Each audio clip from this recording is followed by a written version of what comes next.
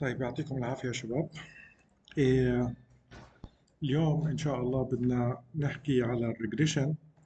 طبعا عشان إيه نرجعك في سياق الموضوع طبعا إحنا طريقة دراستنا لل models هنا إيه بندرس ال models هذه بطريقة تجريبية empirical models. إنه معنى ذلك إنه إحنا بنجرب عدة models على البيانات لغاية لما نشوف إيش هو الموديل الأفضل بالنسبة لإلي.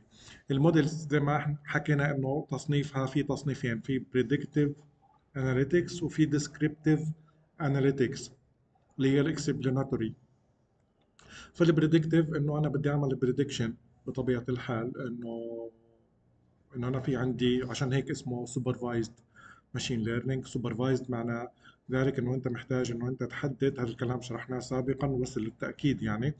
إنه أنت محتاج إنه تدي للخوارزمية تبعت ال machine learning بتقول له إنه خلي بالك إنه تدي له ال X وال Y وتقول له لما تكون ال X هيك بتكون ال Y هيك لما تكون ال X هيك بتكون ال Y هيك. فبالتالي إنه هو بيقدر يبني الموديل بناء على إنه بيقدر إنه هو يبني الدالة اللي بتقدر تتوقع ال Y لما تكون ال X هيك. هذا في بناء الموديل تمام؟ أما في استخدامه في ال prediction إنه أنت بتعطي له ال X بس تمام؟ عشان إنه يعطي لك ال Y أنت بتكون مش عارف ال Y لكن في مرحلة البناء إنه أنت يفترض تكون في عندك data set إنه بتكون ال Y موجودة. بتكون ال Y موجودة عشان تقول له إنه لما تكون ال X هيك بتكون ال Y هيك. وفي منه نوعين في منه ال classification وفي منه ال regression classification حكينا إنه ال Y بتكون nominal أو categorical بيكون ال class label أنا عندي nominal يعني إنه عبارة عن category وال regression بيكون ال target أنا عندي أو ال Y عبارة عن number أو numeric يعني. تمام؟ شفنا في ال classification شرحنا سابقا حوالي سبع خوارزميات لل machine learning لل classification تحديدا عفوا. و بالإضافة لل meta learners أو ال ensemble method انه إنه أنت ممكن تستخدم أكثر من موديل عشان إنه أنت تعمل ال prediction تبعك وتعمل voting بيناتهم. تمام؟ ال regression نفس ال classification في عدة خوارزميات. تمام؟ وبيكون ال target أنت عندك عبارة عن number explanatory أو descriptive analytics في هذه الحالة بيكون أنت عندك نوع ال machine learning unsupervised لأنه أنت ما بيكون في عندك y خلص كل ال attributes تعتبرهم إنه هم x وبيكون الوظيفة تبعتك إنه في ال association إنه أنت تحاول توجد ال association بين ال attribute x واحد و x ثلاثة مثلا على سبيل المثال بناء على ال frequency تبع ال values تبعتهم. حنشوف الخوارزمية هذه. وال clustering فعليا انه أنت بتشتغل على مستوى السجلات مش على مستوى ال attribute بتشتغل على مستوى السجلات. سجلات أو ال records اللي بتشبه بعض بتروح بتجمعهم في cluster واحد تمام؟ آه طبعا هذا بيساعدك في استكشاف البيانات إنه بشكل آه كثير كبير. هو فعليا إحنا متوقعين في المساق إنه نحكي عن ال clustering حناخذ عدد خوارزميات في ال clustering وال classification بالإضافة لباب إضافي متعلق بال evaluation.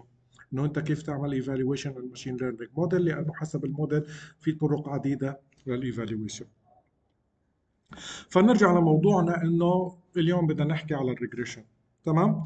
ال regression بدنا نحكي على ال linear regression زي ما أنت شايف أمامك إنه المعادلة بشكلها العام بتكون إنه y بتساوي a زائد bx ال a هي عبارة عن constant وال b هو عبارة عن coefficient. كيف ممكن إنه أنت تجيبه؟ ممكن إنه أنت تجيبه فعليا.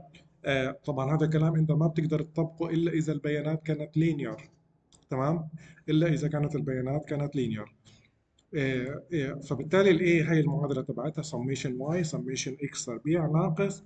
سميشن إكس سميشن إكس في واي على فبالتالي هاي البيانات كلها معطى أو موجودة عندك. أنت عندك المتغيرات الاكس الواي الواي والاكس إيش المطلوب منك إيجادهم في هذه المعادلة؟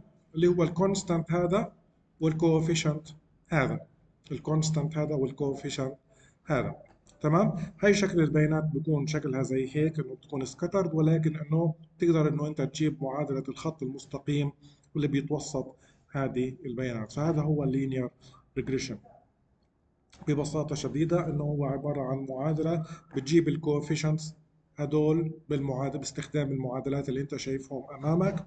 وخلاص في ال prediction تصير تستخدم المعادلة هذه بشكل مباشر. تمام؟ ناخذ مثال.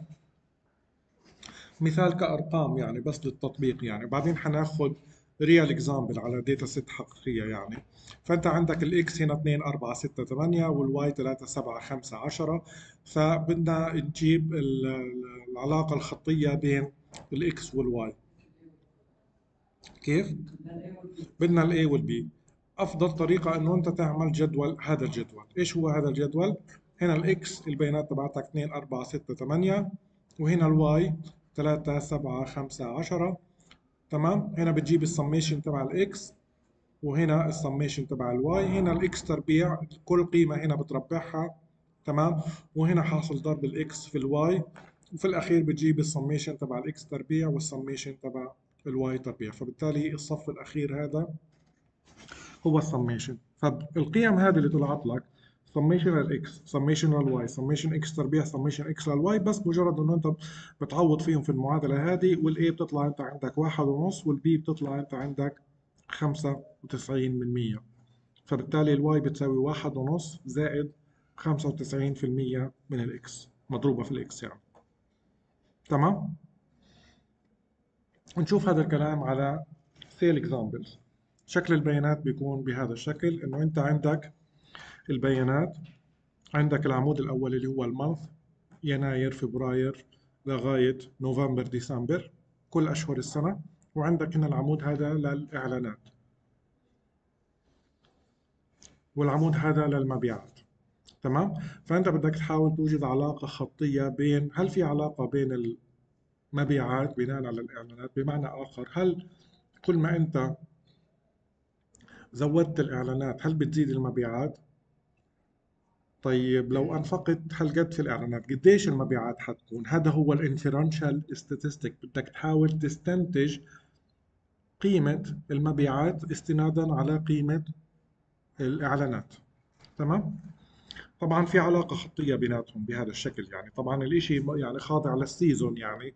في بعض الأشهر بتكون المبيعات أعلى من أشهر تانية ولكن إنه واضح جدا إنه العلاقة خطية. فبدنا علاقة الخط المستقيم بحيث إنه أنت فعلا كمتخذ قرار تقول لو أنا أنفقت هالقد في الإعلانات حتيجي لي مبيعات هالقد.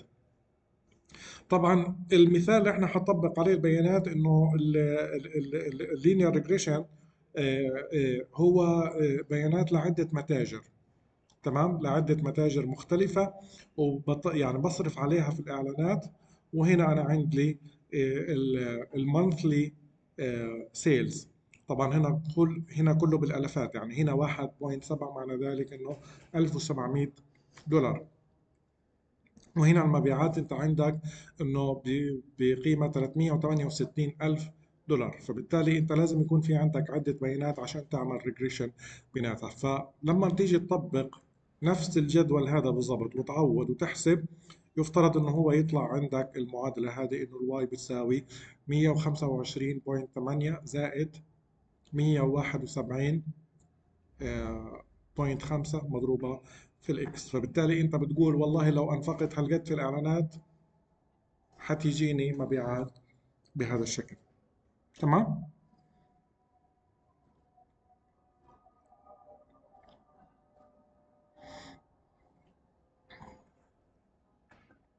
okay. نطبق هذا الكلام على ال house price. طبعا ال house price برضه regression لأنه أنت عندك ال Y هو عبارة عن سعر البيت رقم. تمام؟ وأنت عندك عدة attributes إيش هي ال attribute تبعت ال house price لما شفنا ال house price data set انت عندك عمود لعدد الغرف عندك عمود لمساحة البيت عندك column للموقع عندك في الحقيقة عمودين للموقع اللي هو خط الطول وخط العرض. في عندك عمود ل آه، سنة البناء ومن خلاله انت بتقدر تستدل انه قديش البناء هذا قديم. تمام؟ فبالتالي انت عندك مجموعة من المحددات أو مجموعة من ال attributes اللي بتحدد فعلا آه، سعر البيت. لاحظ هنا إنه أنا في عندي مجموعة من ال attributes بدي أوجد المعادلة تبعتهم. هنا إحنا لما رسمنا يعني رسمنا بس لعمود واحد اللي هو عدد الغرف وهنا أنت عندك سعر ال- ال- البيت. هل تقدر تقول إنه يعني في علاقة بين سعر البيت وعدد الغرف؟ أكيد بطبيعه الحال كل ما زاد عدد الغرف بزيد سعر البيت. لاحظ إنه طبعا هذا الكلام مش دائما مش بطبيعة الحال زي هيك حورجيلك بعض النقاط ال outliers اللي موجودة هنا.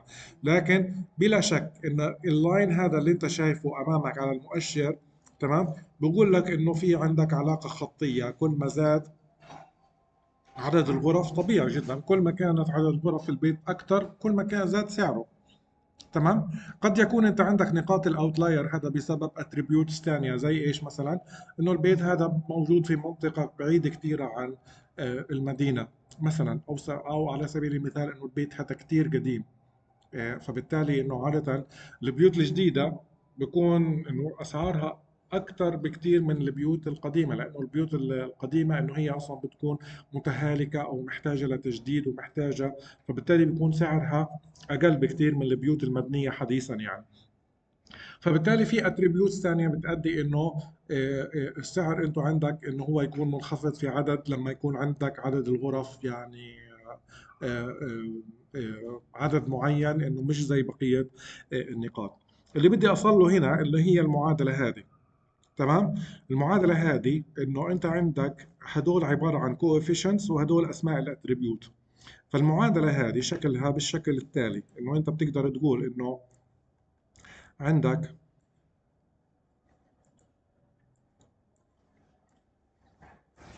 ال Y بتساوي ال A زائد B واحد مضروبة في X واحد زائد B اتنين مضروبة في X اتنين زائد إلى آخره على حسب ال attribute تبعتك. فهنا في هذه الحالة ال A عبارة عن إيش؟ 37.25 B واحد ناقص 119 من ألف بال minus. B 2 ناقص 49 من 1000 آه، آه، موجب 49 من 1000 وهكذا تمام؟ X واحد اللي هو هذا ال attribute. X 2 اللي هو هذا ال attribute فبالتالي إنه أنت فعليا آه، بتقدر توجد المعادلة الخطية آه، آه، أو المعادلة الخطية بيكون الناتج تبعها بعد تطبيق ال linear regression بهذا الشكل.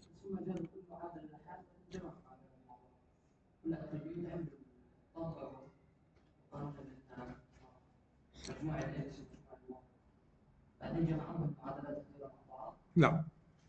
بيتم ايجادهم آه، مع بعض. لأنه أنت لما بدك توجد آه، علاقة بين ال Y مثلا وال X واحد هنا تمام؟ آه، آه، ما ينفعش إنه أنت تيجي يعني إنه أنت تقول إنه أنت تجمعهم مع بعض وهذا بيؤدي لك لنفس ال Y فعشان هيك إنه آه، ال ال في في ال linear regression هذا إنه أنت بتتعامل آه، مع عدة متغيرات ولكن إنه الشرط إنه تكون المتغيرات هذه كلها خطية. يعني ما إنه هذا إنه مثلا إنه ال X ال X هذا المتغير إنه يكون مثلا X تربيع أو مرفوع على القوة 2 هيك بصير مش خطي. نرجع مرة ثانية هنا. العلاقة الخطية بتكون عبارة عن خط مستقيم. إذا أنت كانت علاقة غير خطية معنى ذلك إنه إنه مثلا زي معادلة ال X تربيع. كيف معادلة ال X تربيع؟ ال Y بتساوي X تربيع. هيك شكلها. بهذا الشكل مش خطية فبالتالي إنه أنت ممكن يكون في عندك أكثر من متغير عندك في الدالة وتوجد المعادلة الخطية آه، آه، آه، لإلهم كلهم مع بعض دفعة واحدة تمام؟ كيف؟ لا ممكن يكون في علاقات بين ال attributes يعني ممكن إنه يكون في أكيد في علاقة بين مساحة وعدد الغرف. يعني قصدك إنه علاقة قصدك linear لا ممكن يكون في علاقة linear في بعض مع بعض ال attribute يعني إنه كل ما زاد عدد الغرف بيزيد بتزيد المساحة طبيعة الحال يعني.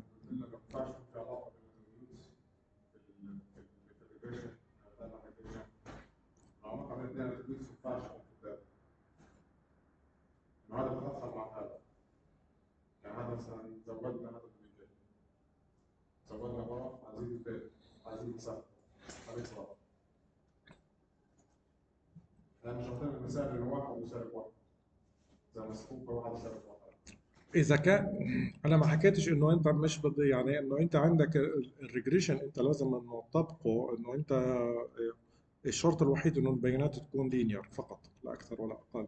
إنه تكون ال Xات هدول إنه في بين- بيناتهم علاقة correlation قد يكون في بيناتهم علاقة correlation أو قد ما يكونش في بيناتهم علاقة relation بس أنا اللي حكيته يمكن إنه شغلة إنه لها علاقة ب محددات استخدام ال Bayesian إنه قلنا إنه لما يكون في عندك redundant attributes يفضل إنه أنت تشيلها يعني يعني مثلا زي آه، نصف القطر الدائرة وال- والمساحة مثلا إنه يفضل إنه خلص واحدة بت يعني بتغني عن الثانية فبالتالي إنه يفضل إنه أنت تشيل ال redundant attributes لكن هاي ما إلها أي علاقة يعني في يعني ما ما إلها أي شرط إلا انها تكون البيانات linear يعني طبيعه الحال. تمام؟ في أي سؤال فيما يتعلق بال regression